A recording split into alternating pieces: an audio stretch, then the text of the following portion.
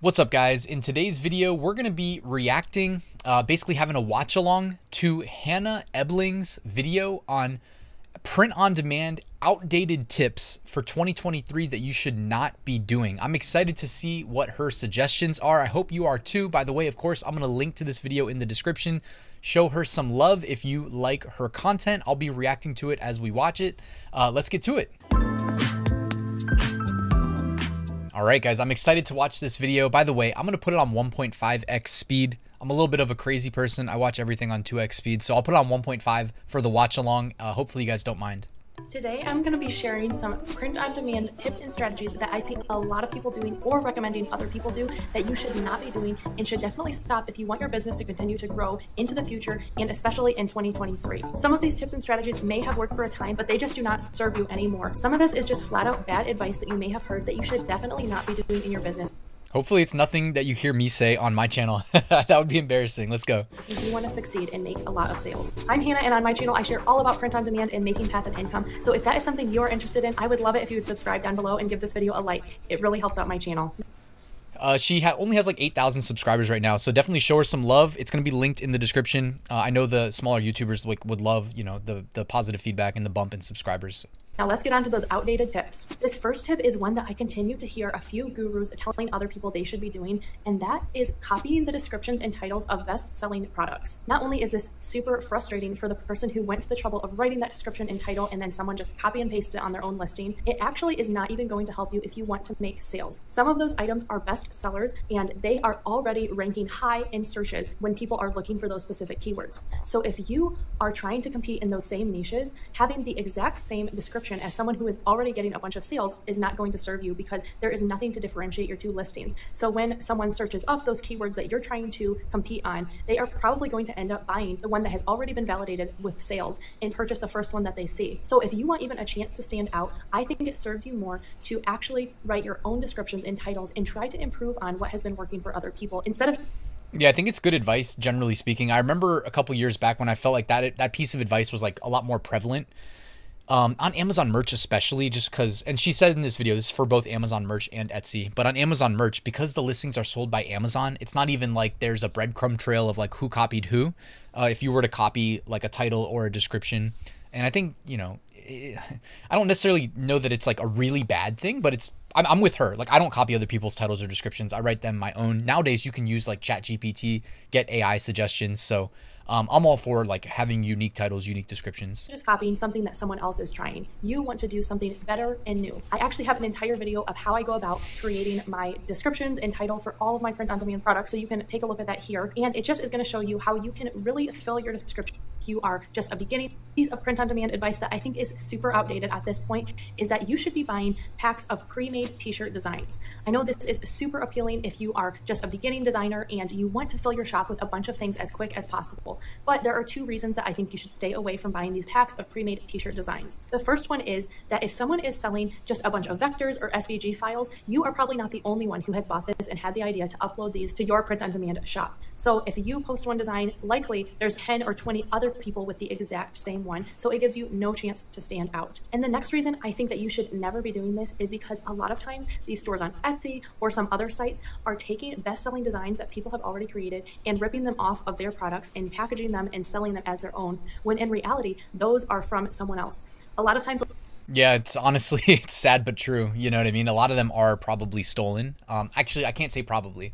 A lot of these bundles, though, for sure, we don't necessarily know the origins, and um, can't help but wonder if it's the original designer that is the one uploading and selling them. I, I have a feeling it's not in a lot of cases, so I agree there. And um, you know, for another note too, I don't want to take it out of her mouth if she's about to say it, but yeah, if you're a beginner and you're using other people's designs, well, you're not getting any better at designing.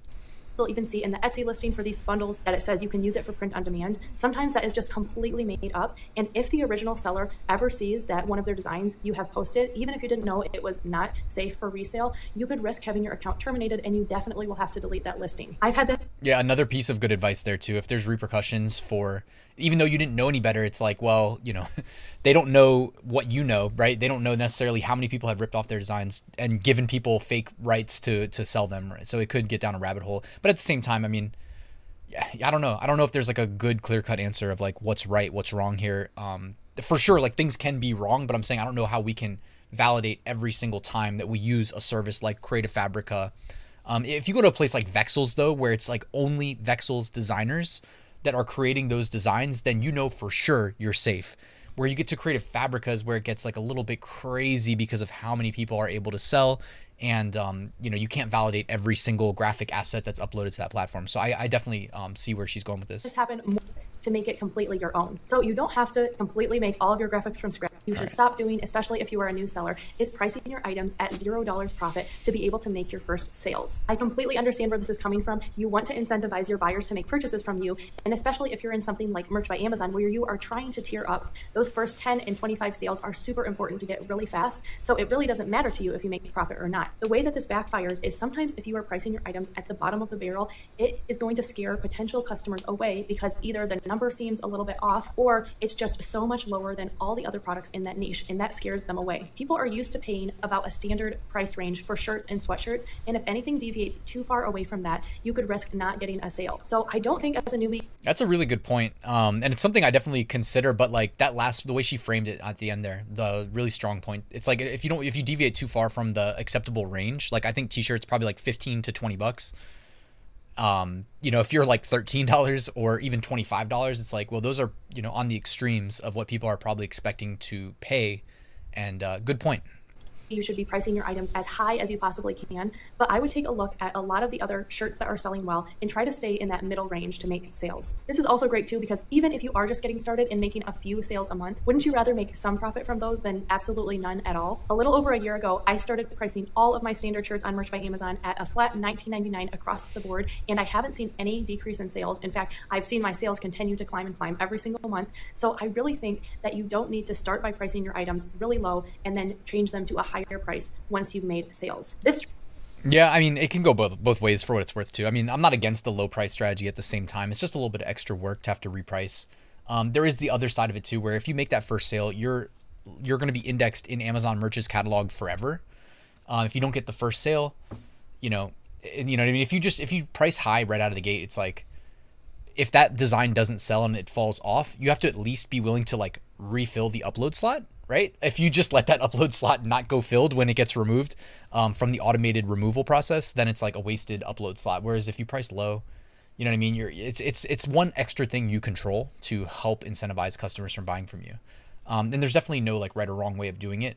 Uh, it would and again like it would really help if we had like access to Amazon's data for things like click through rate and conversion rate as a function of price, but we don't have that. So I guess you know, I, I it's like I agree, I disagree. I, I see both sides of it. I see both sides strategy is something that a lot of people tried to be able to do the lowest price so that when people sorted products by lowest to highest, yours would become the top of the page in sorting it that way. However, now so many people know about this secret trick and so there's three, four, five, six pages of items that are all priced with no profit. So you aren't even going to stand out that way, and you might as well make some profit. The next mistake that I see a lot of print on demand sellers doing, and a lot of people recommending, is trying to let organic traffic do all of the work in your print on demand business. Gone are the days, I think, when you could just post a bunch of listings and you are going to get a bunch of sales and traffic right away. It's a lot more complicated to play this game in some ways. And while you can build a successful business with no social media following or not a lot of outside traffic, I think in those early stages of starting your business, being able to give your listings a little boost with some outside traffic helps a ton. So in both definitely agree. It's just easier said than done, right? It's it's tough. You know, it's tough these days.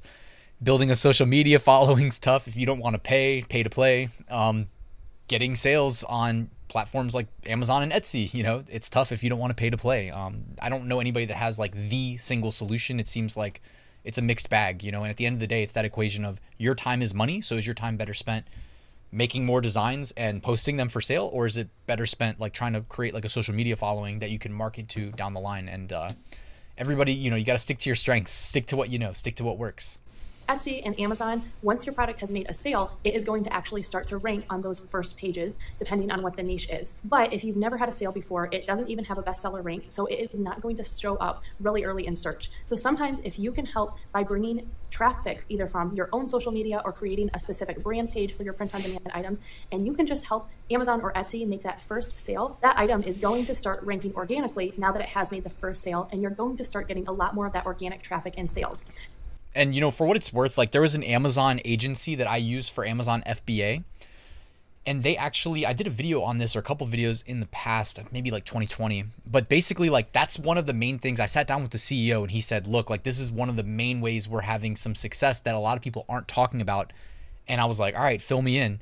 And he's like, "It's driving external traffic to your listings. Amazon is loving it and we're seeing it respond very positively." Uh, I did it to one of my listings and literally saw me. I think I jumped from like the 14th organic rank on the primary most valuable keyword. Now, it wasn't print on demand, it was an FBA product I sell, but I jumped up to number five, if I remember correctly. And it was like over the duration of a couple weeks. So, yeah, this is good advice. But it, again, it's like you have to execute it, which is the tough part. This has worked super well. Oh, and that agency, sorry, they did ads. We ran um, Facebook and Google ads, but they did it for me. That was the nice part. So for me where I will push an item on one of my social media pages that I've created for some of my brands. And once I get that first sale from someone that I knew came from Instagram, that item all of a sudden starts selling super well on Etsy. And I'm getting all these organic views and traffic because I made that first sale. Once again, this isn't a complete must, but a lot of people get super discouraged in the early stages of their business because they expect that all of this traffic is just going to come to them without them doing anything. But if you really want to start seeing momentum, I definitely suggest trying to get some additional eyes and traffic on your listings and help Etsy and Amazon make those those first sales. The next piece of outdated print on demand advice that I still continue to hear people say is that you should let Etsy and Amazon just automatically control all of your advertising campaigns. If in your business you've started to dabble into the world of advertising, it's super tempting when you don't know what you're doing to just put your listings on automatic and have Amazon do all of the work. But you'll see pretty soon that Amazon and Etsy really quickly spend all of your money that you have for that campaign. It's really easy yes, they do find a way to spend your money. this is a nuanced thing for sure with advertising, yeah, because it's like you set a budget, you set bids, or you go to Etsy where you can't set bids, but you can set a budget, and uh, yeah, it's definitely a rabbit hole that requires a little bit of time to go down. Um, you definitely don't want to put it on full autopilot because the least, the, the less you do, and I'm sure she's about to say this, but it's like the less you do, the more of your money they're going to spend, and most likely the less efficiently they're going to spend it to find yourself using up all of your money and spending it on these keywords that aren't really going to convert into sales because they don't have anything to do with your listing. So I think it is super important to manually run and monitor all of your campaigns. This doesn't mean that you can't have any automatic campaigns but I think you need to be very conscientious of how much you are going to be bidding per click on those advertising campaigns. I do have quite a few automatic campaigns on Amazon, but all of those, I intentionally set my click bidding price no more than 25 cents, and I usually don't make my daily budget more than a dollar or two when I'm first getting started with that campaign. That way, I can really manage and see how this is performing, and I don't have to worry about Amazon spending $10 and not even getting one sale because they are just bidding as much money as I will let them on a random thing. I always like to shout out the um, the story that I got to tell of somebody that I did a one-on-one call with, who had spent like over thirty grand on his FBA product to make like I think like fifteen grand in revenue, not even profit. And it's just one of those things where it's like, yeah, um, what she's saying is true. Like if you let them spend your money, they will spend your money. There's no shortage of uh, ad inventory to fill on those platforms if the price is right. And uh, he basically, you know, set really high bids, really high budgets and the rest is history. Some ways, Amazon and Etsy, they really do want you to succeed with your ads, but they also aren't going to hesitate from spending as much ad money as you will let them because this is becoming more revenue for them. So you want to be really conscious in either monitoring what specific keywords you're going to bid on or just making your bids very, very low and slightly increasing those as you see that they're working. Because if you give Amazon and Etsy 10 or $20 a day to work with, they probably are going to spend all of your money and that doesn't guarantee that you are going to get results. So Yes, guys, uh, it's true. And I mean, you can set like negative keywords on your Amazon ad campaigns on Etsy. And this is talking about auto campaigns. On Etsy, uh, it's kind of you're just forced into doing their equivalent of an auto campaign. They don't have manual campaigns as an option, and you can't control your bids either. But you can go in there and you can uh, click search terms, and it will show you what keywords and what phrases they're spending your money on. And sometimes they'll just like append the wrong product type. So you say shirt, and they'll be advertising it for like I don't know, hat, hats or something, like make something up, towels. Uh, and you, you're like, okay, that's never going to convert. And then you got to kill that. You can turn it off. So yeah, there's definitely things you can do. Anyways, guys, thanks for watching this video. If you have another video suggestion for me to do a reaction to, you can either drop it in the comments or email me. Check out Hannah's channel. I will, of course, link to this video in the description. I know she would appreciate some new subscribers. You can tell her you came from my channel. I'm sure she'd appreciate that. Uh, that's it, guys. Thanks for watching. Like, subscribe, and I will see you at the next one. Thank you.